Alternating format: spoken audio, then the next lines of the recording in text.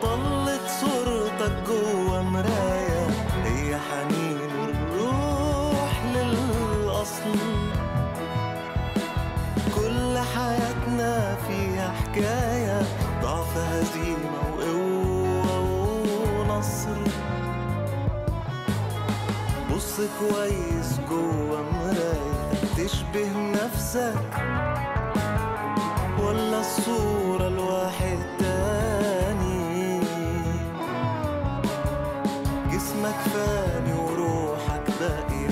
باقي اسأل قلبك دورك ترسف آلة كبير ولا حياتك وهم وعدى وأما تطل بطلة أخيرة. جاوب نفسك.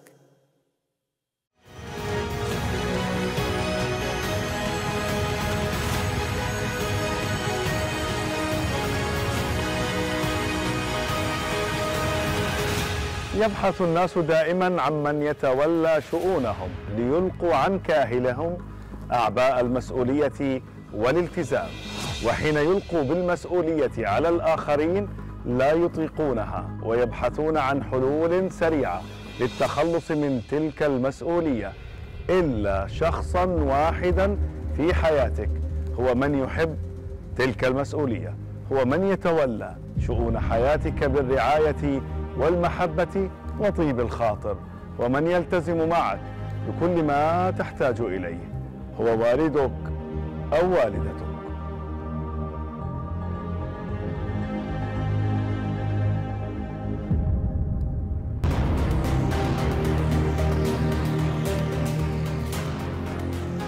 سلام الله عليكم مشاهدينا الكرام.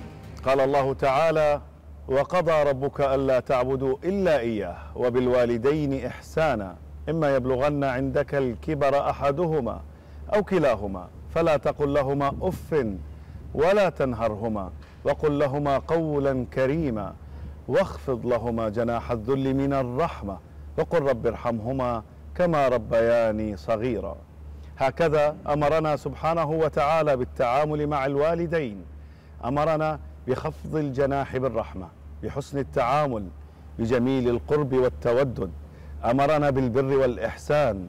وقال عليه الصلاة والسلام من سره أن يبسط له في رزقه وينسأ له في أثره فليصل رحمه.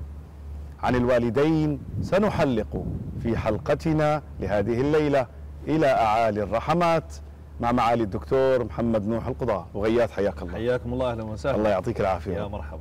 واخفض لهما جناح الذل من الرحمة. هذه الآية دكتور فيها يعني فيها معنى كبير حقيقة وأتخيل كثير من الناس تفسيرها الحقيقي لا يعلمون. نود أن نسمع من معاليكم تفسير الحقيقي لهذه الآية الكريمة. بسم الله الرحمن الرحيم الحمد لله والصلاة والسلام على رسول الله وبعد. شوف ال ال البر الوالدين مش مجرد استجابة الطلب. يعني أنا والدتي أو والدي قال لي جيب لي كاسة مي. لو ذهبت فأحضرت له كاسة الماء ليس هذا البر. ولكن البر كيف تغلف الطلب فتقدمه لهما. يعني مجرد تلبية الطلب لا يعتبر برا بحد ذاته. ولكن البر كيف تقدم لهما ما طلبوا. ولذلك ربنا سبحانه وتعالى قال واخفض لهما جناح الذل من أي ذل وأي أنواعه ذل الرحمة. في ذل تملق وفي ذل نفاق وفي ذل مصلحة. وفي ذل أمام ال أمام التعظيم وفي ذل فيه ضعف. الذل أنواع ولكن الله أمرني أن أخفض جناح الذل من الرحمة أي أني أقدم ما طلب الوالدان لكن مع رحمة مقدمة مع الطلب. اليوم الوالدين يشكون من العقوق. اليوم بيكون الأب أو الأم ساكن هو الأولاد في نفس الطابق أو في بيت آخر فبرمضان ولا بغير رمضان بيبعثوا له صحن أكل. الوالد ليست قطا حتى تطعمه. الوالد لا تريد منك لا هدايا ولا تريد منك عطايا ولا تريد منك مزايا. أنت عارف الوالده شو بدها؟ تأخذ أولادك وتروح عندها. صحيح. مش أنا مجرد إني عزمت والدتي لعندي أنا قمت في البر. هذا صورة البر. لكن فرح الوالدة أن ترى أولاد ابنها أو أولاد بنتها يلعبون حولها. إحنا اليوم عملنا عيد للأم ويوم للأم. جبنا لها مكنسة وجبنا لها غسالة جبنا لها ثلاجة وكأنك تتعامل معها كخادمه الأم لا تريد منك الهدية ولكن الأم تريد منك الجزية. والجزية تجيب أولادك وزوجتك تروح تفطر معها تتغدى معها تجيبها عندك تعشيها. حتى ترى الأولاد هي لا تبحث عن لقمة الطعام. بالعكس هي كانت ترفع لقمة الطعام من فمها وتضع. تجعل في فمك.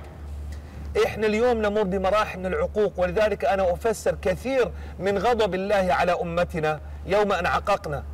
شوف سيدنا إبراهيم عليه السلام. يا أبتي لا تعبد الشيطان. يعلم علم اليقين أن أباه يعبد الشيطان وأن أباه يصنع الأصنام وانه أباه يعبد وثنا وأنه نبي مرسل من الله. ومع ذلك انظر إلى لين القول. ما قال له يا حج يا ختيار يا, يا أبتي يا أبتي لا. وشوف الذل شوف التذلل من إبراهيم الخليل أبو الأنبياء. يتذلل إلى أبيه لأن عقيدته فاسدة بينه وبين الله ولكن الله أمرني أن أكون بارا به. يا ابت لا تعبد الشيطان. يا ابت قد جاءني من العلم ما لم يأتك. يا ابت يتودد ويتذلل. أين أبناؤنا اليوم من هذا التودد والتذلل أمام الوالدين؟ سيدنا عبد الله بن عمر ما روي عن عبد الله بن عمر إنه مشى أمام أبوه. ابدا. عمر مستحيل وراه دائما يمشي وراءه وأكثر من ذلك. كان إذا أراد أن ينزل رجله يلاحظون الناس يلاحظون هذول أساتذة. لا ينزل رجله في المشي قبل ما ينزلها والده حتى لا يسبق له في خطوة. الحسن البصري ما كان يأكل مع أمه. تعرف ليش؟ ليش؟ قال أخشى أن آكل لقمة تكون قد وقعت عينها عليها فأكون قد عققتها. يا الله. أنا ب- ما باكلش معها لأنه بخاف آخذ لقمة تكون الأم. اسلوبها نحن لا نريد أن نصل لهذا المستوى. نحن نريد أن نصل إلى مستوى أن تشعر الأم يوم أن زوجت ولدها أنها ما باعته ولا فقدته. ونريد أن نصل مع الأم يوم أن أتاني الأولاد وجاني أولاد وصارت عندي خلفة. أن أولادي لم يأخذوني من حجر أمي. الأم لا تريد منا هدية مادية ولكن الأم تريد منا صلة معنوية. دكتور الله سبحانه وتعالى خص نفسه بذاته. أي شيء في الدنيا نقول بفضل الله ثم. كذا ثم. إلا بر الوالدين. قرنه ب- وبالوالدين إحسانا. هذه المكانة التي خص الله تعالى بها الوالدين بأنه قرن إيمانهم إيمانك بالله ووالديك وإحسانك لوالديك. كيف هو؟ لأن الذي عق أباه أو أمه ما عرف الله. الذي عق أباه أو أمه ما عرف الله. لأنه إذا كان ينكر فضل المشهود اللي أمامه اللي أمامه. فكيف يتعرف على فضل الموعود؟ وهو الله عز وجل. واحد ينكر فضل أبوه وأمه. واحد ينكر كم من ليلة باتت ساهرة على أسنانه وعلى الوجعه وعلى حمه وعلى مغص معدته. كم من يوم الأب عيد الأولاد كلهم هذا قميص وهذا بنطلون وهذا وهذا وهذا وحرم نفسه. كم من ليلة بات الأب والأم يفركوا بإيديهم كيف بكرة نبسط الأولاد ونجيب لهم أغ- أغراض العيد وحلويات العيد وما تذكروا أنفسهم. كم من ليلة نسي الأب والأم نفسهما من أجل إسعاد أولادهم. وأول ما الولد كبر وصارت عنده زوجة باع الأم وباع الأب وما عادش يتذكر حدا. أول ما كبرت البنت وخطبت بتكون على فكرة يعني صار لها 25 سنة في بيت أهلها. وخطبت واحد اسمه أحمد اسمه علي اسمه كذا. بتصير تخربط باسم أبوها وخطيبها. أنت صار لك عايشة عندي 25 سنة واليوم صرت تخربط باسم خطر ببالك اسم خطيبك؟ خربطت بنتك معك. لا بنتي لسه ما خربطت. لكن والله من واقع الناس من واقع الناس في بيت أبيها ربع قرن وأول ما خطبت نسيت اسم أبوها صارت تخربط بينها وبين خطيبها. أي حقوق عايشينه؟ ولذلك أنا بقول كيف يزرع البر في الوالدين؟ كيف يزرع دكتور؟ الأم هي الأصل. الأم هي التي تزرع بر الوالدين في البيت. أنت عارف ليش؟ ليه؟ لأن الأم عم بتربي. شوف إحنا عشر إخوان. ما شاء أنا بدي الله. أتكلم عن واقع. بديش أحكي نظريات وإنه وقد كان وقد جاء. أنا بدي أحكي لك من الواقع. إحنا عشر إخوان. ما شاء الله تبارك من أب وأم. كلهم خير مني. لكن إخواني ولست رقم واحد فيهم لكن إخواني بيبوسوا على إيدي. أنت عارف ليش؟ ليه؟ لأن هذه يد لمست لحية والدي. الوحيد في أولاده الوحيد في إخوانه اللي لمست يده لحية أبيه العبد الفقير. توفي والدي ما فيش واحد من إخواني العشرة لمس لحيته تعظيما واجلالا واكبارا مش خوفا ولا رهبه. لكن لأنه مر في ظرف مرض اضطررت معها أن أهذب له وأشذب له لحيته فهذه يد لمست لحية أبي. عاش أبي حياته كلها. ما فيش واحد استعمل المنشفه تبعته للبشكير. يا الله. ما فيش واحد من لبس حذاء أبي. ما فيناش ولا واحد مست يده شعر لحية من أبيه. لأنه كان في أم ترسم صورة معظمة للأب. لأنه كان في أب إذا مد إيده على جيبته نركض العشرة نجيب له المنديل. هذا يغرس من الأم. إذ- من أرادت أن يبرها أولادها في مستقبلها وعمرها وكبرها فلتغرس بر الأب. اليوم إحنا لا نحتاج إلى نصوص دينية ولا قرآنية لأنه كلنا بنعرف إنه بر الوالدين حاصل. لكن نحن اليوم نحتاج إلى ممارسة البر. النبي عليه الصلاة والسلام اللهم صل توفيت أمه عمره ست سنوات. توفيت أمه وعمره ست سنوات. واستأذن من الله أن يزور قبرها. وجلس عند قبر امه وبكى جلس عند قبر امه وبكى النبي عليه الصلاة والسلام. وقال استأذنت ربي أن أستغفر لها فلم يأذن لي. واستأذنت بس أزورها. فسمح لي أزور أمي. وهو نبي مرسل. ما نسي أمه. وأكثر من ذلك كانت المرضعة له خا- خالته خالته ربته. كان يقول هذه أمي بعد أمي. وقال الخالة أم النبي عليه الصلاة والسلام. حديث الرسول صلى الله عليه وسلم أمك ثم أمك ثم أمك ثم أبيك. يعني آه، فكرة الفضل والبر للأم بثلاث والأب بواحد لماذا هذا المفاضلة للأم في في البر؟ لأنك لو قارنت تعب الأم مع الأب الأم حملت وأرضعت وربت. حملت وأرضعت وربت. فقال أمك ثم أمك ثم أمك. لكن الأب أنفق. لكن هذا مش معناته إنه إحنا نروح باتجاه الأم ونترك الأب. النبي عليه الصلاة والسلام يقول الوالد أوسط أبواب الجنة. الوالد. الوالد أوسط أبواب الجنة. فإن شئت فخذ وإن شئت فدع. أولادنا اليوم لازم نعيد نظرتهم إلى والديهم. اليوم الاتصالات كثرت والتلفونات كثرت والواتسابات كثرت والفيسبوكات كثرت كل الوسائل موجودة. ولكن في عقوق. أنا بستغرب من واحد بيقول لك أنا مسافر. أنا مسافر. ليش مسافر؟ أجمع فلوس. أنا بدي أروح أجمع فلوس. وأبوه في بلده بيحمل أسطوانة الغاز. أبوه بروح يجيب الخبز. أبوه يمشي ويتحرك. رجل كبير في السن وطاعن في في السن. بقول لك أنا بدي أروح عشان أجيب فلوس أربي أولادي. إحنا اليوم نمر بحالات من العقوق. واحد اجى عند النبي عليه الصلاة والسلام فقال يا رسول الله هذه أمي. حججت بها. هي كلمة حججت بها مختصرة بس تعرف شو حج بها؟ يعني حملها على ظهره فطاف بها سبعة أشواط.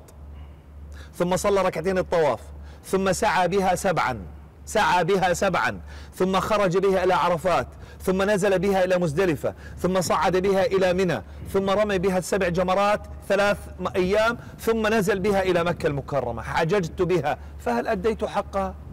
قال له النبي لا ما أديت حقها. هو متوقع النبي يقول له آه اديت حقها والفوق حقها كمان. قال لا. طب ليش يا رسول الله؟ قال له في فرق بسيط بينك وبينها.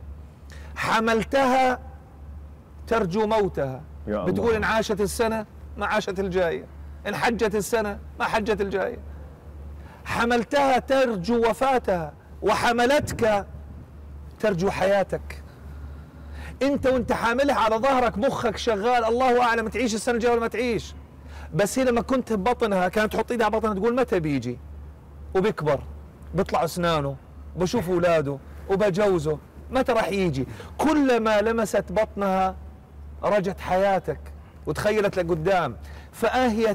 فهي تتخيل ذريتك وأولادك وبيتك بيلعبوا حواليها.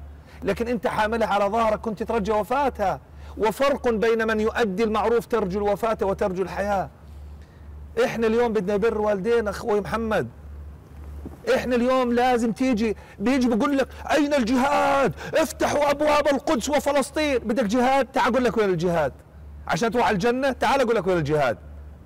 اجى عند النبي عليه الصلاة والسلام شاب ملان شباب ورجوله فقال يا رسول ائذن لي بالجهاد انتفض من شدة ال- القوة اللي بباطنه قال له النبي تعال تعال تعال. أحي أبواك؟ أبوك وامك طيبين قال أما أبي فقد مضى. وأما أمي فإخوتي يكفوني همها. في إخواني بيشيلوا بدالي.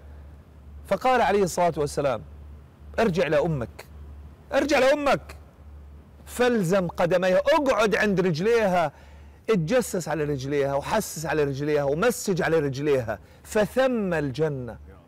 أمك واقفة بالجنة. إن كانت أمك في المطبخ فالجنة في المطبخ. إن كانت أمك قاعدة على الكنباية الجنة على الكنباية. إن كانت أمك في الكرادور الجنة في الكرادور. وين بتشوف أمك دعست؟ اليوم قاعد بدفع فلوس قال وين بدي أروح أروح على المسجد النبوي. خير إن شاء الله. أجلس في الروضة. شوف الدين اللي بنقط منه تنقيط. أجلس في الروضة. وهو عند أمه مش رايح يزورها.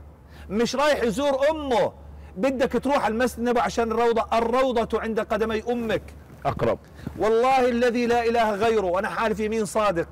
أني إذا مررت بضيق جلست عند قدمي أمي فدعوت دون أن تسمعني فيستجيب الله الدعوة. يا الله. لأنه الجنة هناك. الجنة عند الرجلين. الجنة عند الرجلين. أخي قاضي شرعي بعمامة كلما دخل عند أمي قبل على قدميها. لأنه هناك الجنة. بدك تدور الجنه تقبيل قدمي الأم والجلوس عند قدمي الأم أولى من الصف الأول بالمسجد. لأنك في وقوفك بالصف الأول بالمسجد ترجو رحمة الله. ترجو. ولكن عند قدمي الأم أنت في رحمة الله. والمتأكد خير من المرجو. يا الله. اليوم اليوم إحنا فاهمين بر الوالدين غلط. فهمنا بر الوالدين هدية. فهمنا. الأم تحتاج إلى ولد يجلس عند ركبها. في فيحسس على يديها. كل ختياريتنا بحبوا هاي. مسج لي يمه. مسج لي يمه. هاي أشوف- مسج لي يمه قمة لأنها والله. ولدتك حتى تصل لهذا المستوى. الله يرضى عليها امي دائما تقول مسج لي يمه. ولذلك أخواني. ولذلك من أكبر العقوق كظم غيظ الأم. لما تشوفك طالع مع مرتك وأولادك مسافرين رايحين شمة هواء رايحين طشة رايحين على مطعم وهي جالسة في البيت لحالها وهي قاعدة والوالد. والله أخذنا الأولاد أبسطناهم. طب لماذا لا تسر أمك؟ لماذا لا تكسب رضا الوالدة؟ لماذا لا تجلس عند أمك فتحط تضع يدك على يدها على رأسك تقول اقرأ علي الفاتحة يا أمي حتى تحصنك وتقرأ عليك حتى تكسب البركة. فإن دعوة الأم لا ترد. طب دكتور ناخذ آه، نصائح عملية لشبابنا الآن في واقعنا الحالي. خلينا ناخذك نموذج دكتور مثلا إذا تسمح لي يعني. تفضل. كيف التعامل البري مع الوالد والوالدة. يعني أنت الآن عشت نموذج مرض والدك الله يرحمه و... ووفاته وكنت ال- على معلومات المرافق له في في في مرض الأخير. وأيضا الآن الحجة الله يطول بعمرها. نماذج آه، أمثلة حقيقية واقعية لمعنى البر في التعامل. تخيل الأب أو الأم أنه ملك وتعامل معه في هذه الصورة. أوف هذه كبيرة. ملك. الأب والأم يجب أن يعامل في بيته على أنه ملك. لا توكل قبله ممنوع توكل قبله. شوف أنا بدي أحكي للناس نماذج. أنا جدتي وجدي أدرك ج... ج... وكانوا أدرك. كبار في العمر. وكان والدي وصل من المناصب ما وصل. كان إذا وضع الطعام ما فيش واحد يمد إيده حتى تأكل الجدة. حتى تأكل جدة. يجب أن يعامل الأب والأم في البيت على أنهم ملك. لا تأكل قبله ولا تقوم عن الأكل قبله. تنتظر. ينتظر حتى يكمل أبوي. لا تدخل قبله ولا تخرج قبله. اليوم قاعد بيسافر وبيحكي مع أبوه من برا بقول له ترى يابا أنا بالبلد الفلانية. أي عقوق هذا؟ يجب أن تنظر إلى حاجات الأب ملابسه حذاؤه أغراضه. ينظر إليها على أنها وصلت إلى مرحلة يعني بين قوسين حتى لو في خطان تقديس. هذه هذه شغلة الأب. لا تمس. هذا لا يمس. يجب أن ينظر إلى الوالد والوالدة على أنهم موضع الدلال. أنا بقول لشبابنا اليوم اللي والده ما زال موجود. أنا كنت أزور والدي كل يوم مرتين. في حياته. في حياته. الله أنا اليوم بندم ليش ما كانوا ثلاث. بندم ليش ما كانوا ثلاث. كل يوم يمر على الأولاد لا يكلم أبوه فليعلم أنه قد خسر من حياته يوم. كل مال الدنيا لا يعوض كلمة الله يرضى عليك يا ابني لا يعرف طعم الأبوة إلا من فقد أباه. كم من إنسان اليوم أبوه موجود لكن مش حاسس بقيمته كان الشيخ نوح رحمة الله عليه وصل لواء لواء في الجيش. يستشير جدي فأنا يعني عقليتي يقول طب يعني هو الله أكبر مفتي القوات المسلحة لواء سيارات طيارات. يستشير جدي. فأقول له يا بابا أنت يعني لما بتسأل جدي أنت بتكون مش عارف؟ قال لا. الأبو يجب أنك تشاوره حتى يشعر أنه ما زال حيا.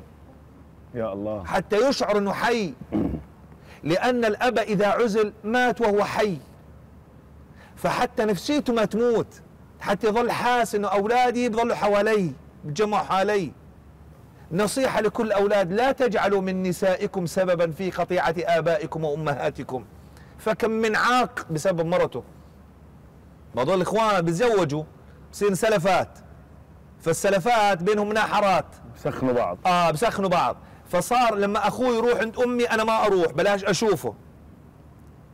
فينشأ سلسلة من قطيعة الرحم. نصيحة لكل ابن ولكل أم. اكسبوا من حياة آبائكم وأمهاتكم فسيأتي عليكم يوم تدق عليه الهاتف فلا يجيب. أنا هختم بقصتين أنا عايشهم وأعرفهم. القصة الأولى هي للدكتور محمد عمر القايدي الله يجزيه الخير في برامج قناة إقرأ الفضائية. عندما كان يستضاف آه، في القناة على الهواء مباشرة عندما يأتيه اتصال من والده كان والده مشارك دائم في البرنامج كان يقف. يقف في البرنامج وما يخلص ال ال ما يجلس إلا لما والده يخلص. القصة الثانية هي مع معالي الدكتور. أنا عشتها مباشرة مع الدكتور كان في رحلة المرض الأخير مع والده يرحمه الله في النمسا وكان عملية آه، زرع نخاع له رحمة الله عليه.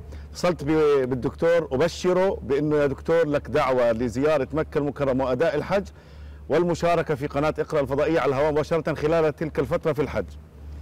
فاتصل علي الدكتور قال لي محمد والله أنا مع والدي الآن في النمسا وأنا الآن في رحلة علاج لوالدي. اعذروني واعتبروني كأني كنت معكم. مرت الأيام وتوفى الوالد الله يرحمه. والدكتور بيكلمني بيقول لي محمد تعرف اتصالك هذا؟ شعرت أنه رسالة من الله يقول لي يا محمد أجرك عندي أي والله. كأنك حججت نعم بخدمتهم من خدمتهم. أي والله رحمة الله عليه. كل لحظات بر الوالدين ستمر شريط الذكريات. صحيح. وستندم. وهذا الكلام مش لك موجه أنا بعرف برك لوالدك ووالدتك ولكن لاخواني بيسمعوني الآن الشباب. لا والله كلنا مقصرين يا شباب. المسلمين. كلنا مقصرين. والله ستأتيكم أيام تندم على كل لحظة أغضبت فيها أو نكدت فيها على الوالد والوالدة. سي... سيندم. هذا كلام أنا عشته. ولذلك أنا بدعو إخواني وأخواتي لا تعتبوا على الآباء. ولا تغضب من أبيك. أبوك بشر أمك بشر. يمكن يصيب ويخطئ. لا تتخيل أن الأم تظلم أولادها. لا أبداً. تتخيل آه. أن الأب يسيء أولاده. ولكنهم بشر يصيبون ويخطئون. فلا تعتبوا عليهم. أعمارهم أقصر من عتبنا. وأعمارهم أغلى من غضبنا. وأيامهم في تناقص. فلا تخسر حياة أبيك وأمك. من أجل شهوة من شهوات الدنيا ولا سفرة ولا مال ولا الأولاد ولا زي لا تفعل ذلك أبدا. اكسبوا من حياتهم اكسب الرضا. اجلس عند أقدامها اجلس عند أقدام والدك. واسأله سؤال ماذا تأمر؟ أؤمرني ستصل إلى مرحلة والله ستصل إلى مرحلة تتلذذ بخدمة الوالدين. تتلذذ بخدمة الوالدين. إحنا عندنا في الشرع الإسلامي ثلاثة لا يستحي من خدمتهم ثلاثة لا يستحي من خدمة مهما بلغت من المناصب مهما بلغت من المناصب. أنا مرة كنت في اجتماع مجلس الوزراء كنت وزير واجتماع مجلس الوزراء. رن التليفون كانت الوالدة. استأذنت من رئيس الوزراء وطلعت حكيت مع الوالد ورجعت قلت لها تسمحي لي؟ أنا الآن في اجتماع مجلس الوزراء. قالت يا أمي ليش تقطعي اجتماع قلت لا اجتماعات هذه تخلص لكن رضاك لا ينتهي. رضاك لا ينتهي. الوالدين اطلب منه الرضا اطلب منه الدعوة لأنه دعوة الوالدين مستجابة, مستجابة. وبرهم يعجل لك فيه الخير في الدنيا والآخرة. الثلاثة اللي لا يستحق. الثلاثة الذين لا يستحيا من خدمتهم. أول واحد العلماء. مهما بلغت منصبي خدمت عالما أكبر في خدمته. والأمر الثاني الأمراء. إذا جاءني أمير بغض النظر عن عمره وعن عمري فخدمة الأمراء لا يستحيا منها. والثالثة الوالدين لا يستحيا منه لا يستحيا من خدمة الوالد. حتى مهما بلغت من منصب وكان هو أميا لا يقرأ ولا يكتب. فتعظيمك لحذاء أبيك وأمك يزيدك رفعة. شكرا سيدي. حياك. بارك الله فيك.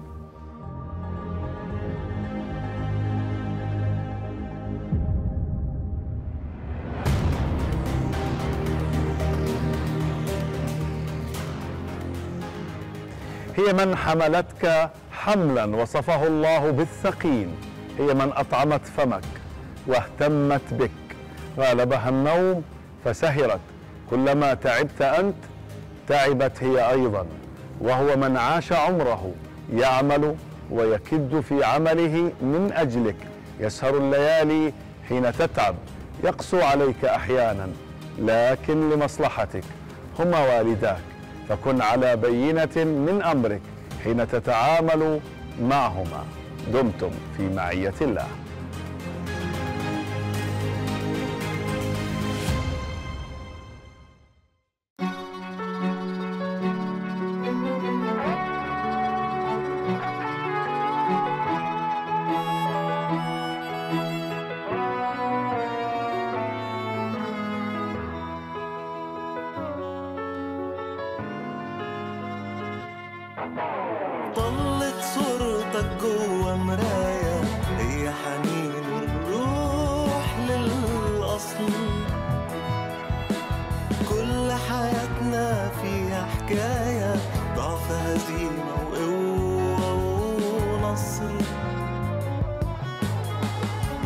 كويس جوا مرايتك تشبه نفسك.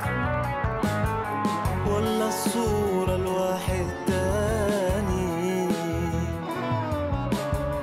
جسمك فاني وروحك باقية اسأل قلبك. دورك ترسف آلة كبير. ولا حياتك وهم